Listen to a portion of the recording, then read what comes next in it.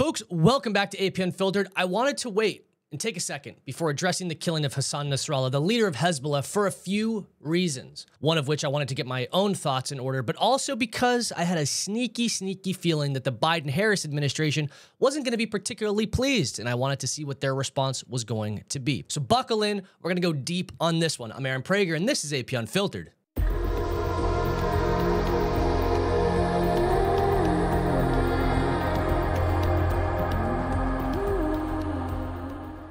Folks, before we start the show, you know the drill. Please do me a favor, real quick. Hit the like button on the video, the follow button on the channel, the subscribe button if you're over on YouTube. Share the show with a friend. Take the URL, post your social medias. And if you'd like to become a member over here on YouTube, please, for $5 a month, link is in the description of the video, on the main page or on the videos page. $5 a month gets you access to a Discord as well as a couple other perks, different tiers if you'd like to.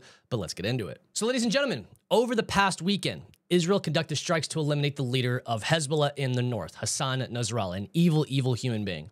And this is on the heels of, by the way, one of the most tactically brilliant plans, military operations in modern history. Now, some backstory on this, real quick, before we get into this insane story involving the Biden Harris administration. These plans have been in place for a very, very long time, mind you. Mossad had created a pager company knowing that eventually Hezbollah would have to cease using cell phones for fear of Israeli intelligence being able to track it. And in those pages were a small amount of explosives each. Once this was triggered, we all saw what happened. Hezbollah then had to move to walkie talkies. Then those were detonated as well. So no cell phones, no pagers, no walkies, right? None of those were able to be used for the terrorists any longer. This then forces Hezbollah leadership to have to meet in person. And when they do, Israel is able to strike them at their meetups. And finally, this all culminated with taking out the leader of the organization while Israel amassed a whopping, you ready for it? Zero soldier casualties in the process. Like I said, it's the most well executed and targeted military operation in modern history. But now it's time for the response from the Biden Harris administration. And the reason I always throw Harris in there is because up until she was coronated as the Democratic candidate, the entire administration called her an integral part of the, and the last person in the room, mind you, on things such as Afghanistan. This is what Joe Biden had to say. Take a look. Please. Uh, it's our I'm going to stick with this. What's that? I'm going to stick with this subject, but go ahead. I've, I've Well, it's just the fact that Israel may be now launching a limited operation into Lebanon. Are you aware of that? Are you comfortable with their plan? I'm more aware than you might know, and I'm comfortable with them stopping. We should have a ceasefire now. Thank Do you. From the Daily Mail, Biden shares his blunt message to Israel before its imminent ground invasion of Lebanon, and U.S. Embassy frantically works how to get Americans out of Beirut.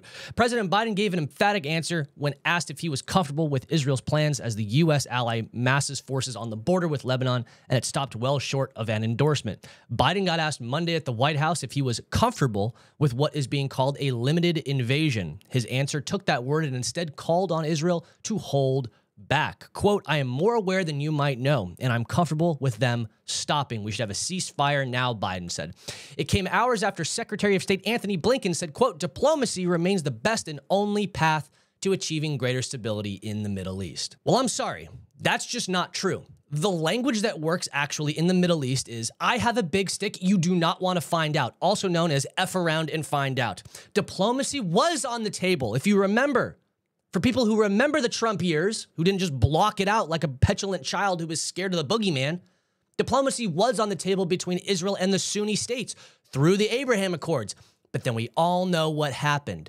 Joe Biden came into office and Iran continued to funnel its money into its proxy groups, the tentacles of Iran, if you will, Hamas, Hezbollah, and the Houthis, which led us to October the 7th, the most deadly day in Israel since, for Jews, since the Holocaust in an attempt to break this up and make it more pitting Jews against Muslims than anything else. And guess what? It kind of worked in a way. Iran's plan kind of worked because now you're seeing all the sympathy from the Hamasals on the college campuses and all these insane people making these insane statements. But like I said before, Iran is the crux of this. And now they have lost two pieces of their line of offensive capabilities in Hamas and in Hezbollah. Jared Kushner, by the way, released a great piece on X explaining this. Take a look. It's a bit of a long statement, but it's very important to read through it. So I'm going to try to make this as engaging as possible for you, but we need to hear this. Jared Kushner on X. September 27th is the most important day in the Middle East since the Abraham Accords breakthrough. I have spent countless hours studying Hezbollah, and there is not an expert on earth who thought that what Israel has done to decapitate and degrade them was possible. This is significant because Iran is now fully exposed. The reason why their nuclear facilities have not been destroyed despite air defense systems is because Hezbollah has been a loaded gun pointed at Israel. It has, folks. It has. This has been, it's been a big thing. The reason why we have not, why Israel has not taken out Iran's nuclear program. Iran has spent the last 40 years building this capability as its deterrent. President Trump would often say, quote, Iran has never won a war, but they've never lost a negotiation. The Islamic Republic's regime is much tougher when risking Hamas, Hezbollah, Syrian, and Houthi lives than when risking their own. Their foolish efforts to assassinate President Trump and hack his campaign reek of desperation and are hardening a large coalition against them. Iranian leadership is stuck in the old Middle East, while their neighbors in the GCC are sprinting toward the future by investing in their populations and infrastructure. They are becoming dynamic magnets for talent and investment while Iran falls further behind.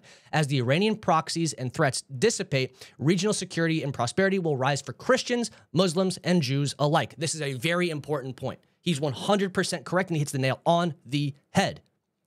Israel now finds itself with a threat from Gaza mostly neutralized and the opportunity to neutralize Hezbollah in the north. Exactly. So why are the Biden administration calling for a ceasefire at this point? This close, and they're like, you know what? Let's call for a ceasefire. Let them regroup once again. It's nonsense. It's an unfortunate how we got here, but maybe there could be a silver lining in the end.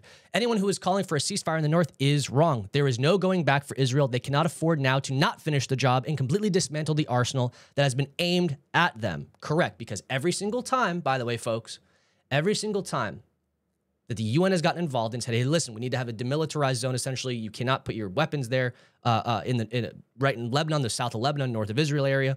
Guess what? Hezbollah immediately then moves back in. That's what they do. They move back in immediately and arm it to the teeth, pointing at Israel. After the uh, Jared Kushner's tweet goes on saying, after the brilliant rapid fire tactical successes of the pagers, radios, and targeting of leadership, Hezbollah's massive weapon cache is unguarded and unmanned. Most, which I believe has just been taken out also this week. Most of Hezbollah's fighters are hiding in their tunnels. Anyone still around was not important enough to carry a pager or be invited to the leadership meeting. Iran is reeling as well, insecure and unsure how deeply its own intelligence has been penetrated. Failing to take full advantage of this opportunity to neutralize the threat is irresponsible. Yes, folks, because once again, these people are enemies of the United States. Wish them dead. They call Israel the little evil, while they call the U.S. and the U.S. Uh, value system the big evil. Jared Kushner goes on to say, I have been hearing some amazing stories about how Israel has been collecting intelligence over the past 10 months with some brilliant technology and crowdsourcing initiatives. But today, with the confirmed killing of Nasrallah, and the and at least 16 top commanders eliminated in just nine days, which that's a great record right there, was the first day I started thinking about the Middle East without Iran's fully loaded arsenal aimed at Israel. So many more positive outcomes are possible. This is a moment to stand behind the peace-seeking nation of Israel and the large portion of the Lebanese who have been plagued by Hezbollah and who want to return to the times when their country was thriving. In Beirut, a cosmopolitan city. Yes, it was known as the Paris of the Middle East. And then Hezbollah comes in, and all these different Iranian proxies come in. And what do you see happen? It turns into a hellhole. The main issue, be, it, which makes it bad for the people who live in Lebanon, the Lebanese themselves. A lot of them are cheering that Nasrallah was killed. The main issue between Lebanon and Israel is Iran. Otherwise, there is a lot of benefit for the people of both countries from working together. The right move now for America would be to tell Israel to finish the job. It's long overdue, and it's not only Israel's fight. Thank you very much. More than 40 years ago, Hezbollah killed 241 U.S. military personnel, including 220 Marines. That remains the single deadliest day for the U.S. Marine Corps since the Battle of Iwo Jima. Later that same day, Hezbollah killed 58 French paratroopers. And now, over the past six weeks or so, Israel has eliminated as many terrorists on the U.S. list of wanted terrorists as the U.S. has done in the last 20 years, including Ibrahim Akil, the leader of Hezbollah's Islamic Jihad organization, who masterminded the 1983 killing of those Marines. It's a powerful statement. I think he, and anybody listening to that understands how well he was able to put that together. But Joe Biden and Kamala Harris, I got to get back to this now. Joe Biden and Kamala Harris have called for a ceasefire at every single step. Why is this? It's almost like they don't want Israel to be able to defend itself and root out the enemies of not just them, but the United States as well. Have they forgotten the Marines? like Jared Kushner was talking about, and servicemen that Hezbollah has killed. Every single time Israel has had a victory, the Biden Harris administration is quickly to jump up and scream, it's time for a ceasefire. You right? When they started to get Hamas on the on the ropes, let's have a ceasefire. Why would we do that? When they get Hezbollah on the ropes, let's have a ceasefire. When they when, when Israel was able to rescue a couple hostages, let's have a ceasefire. It's the logic makes no sense. Let them regroup. Why, why, why would Israel let them do that? Even now, when Israel seems to be getting very close to completing its mission finally, Hezbollah is in shambles and their leader is taken out, right? Hamas is in shambles and Yahya Sinwar, presumably, is in a tunnel somewhere surrounded by hostages, if he's even still alive, by the way. We don't know if he's still alive. But the idea of a ceasefire now, what on earth are you talking about?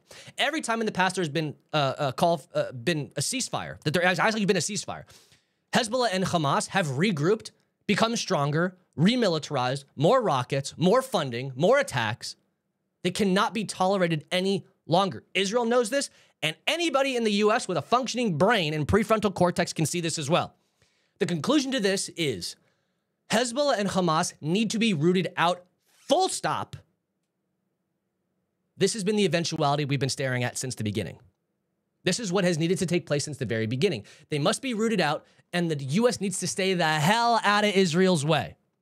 Why would the why the U.S. would, by the way, want a terrorist organization who openly wishes for its own demise to be allowed to regroup doesn't quite make a lot of sense to me, but nonetheless.